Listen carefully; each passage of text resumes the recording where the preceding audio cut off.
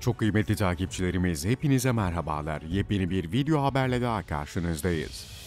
Kardeş ülkeden çarpıcı açıklama. Bunu yapacak kişi Başkan Erdoğan'dır.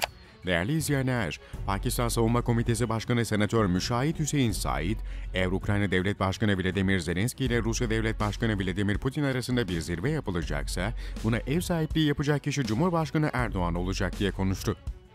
Filistin konusundaki uluslararası bir toplantıya katılmak üzere İstanbul'da bulunan Müşahit Hüseyin Said, Anadolu Ajansı muhabirine güncel konuları ve Pakistan-Türkiye ilişkilerini değerlendirdi. Said, Pakistan'la Türkiye'nin benzerine az rastlanan ve oldukça eskilere dayanan bir ilişkisi olduğunu belirtti. Pakistan'la Türkiye arasındaki ilişkinin her zaman çok güçlü olduğuna işaret eden Said, ilişkinin şimdi de bu ülkelerin dünya görüşmeleriyle bağlantılı olan karşılıklı çıkarlarla güçlendiğini söyledi. Said, Cumhurbaşkanı Erdoğan'ın sorunlarla ilgili tavrını ortaya koyan öngörülü ve iradeli olduğunu vurguladı.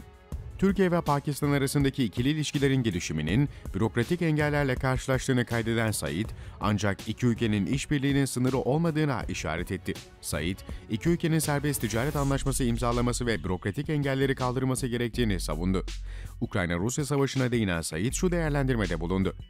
Türk insansız hava araçları oldukça önemli bir rol oynadı. Bayraktar TB2 İHA'ları oldukça etkili.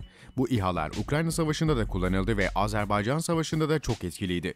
Said, Türk teknolojisinin oldukça ileri olduğunu, Türklerin dost ve kardeşi olan Pakistanlıların Türkiye'nin başarılarıyla gurur duyduğunu dile getirdi. Erdoğan'ın muhtemelen Ukrayna ve Rusya liderlerini konferans masasına oturtabilecek uluslararası tek lider olduğunu söyleyen Said, 11-13 Mart'ta düzenlenen Antalya Diplomasi Forumu kapsamında Ukrayna-Rusya Dışişleri Bakanlarının görüştüğünü anımsattı. Said, eğer Ukrayna Devlet Başkanı Vladimir Zelenski ile Rusya Devlet Başkanı Vladimir Putin arasında bir zirve yapılacaksa, buna ev sahipliği yapacak kişi Cumhurbaşkanı Erdoğan olacak inşallah ifadelerini kullandı.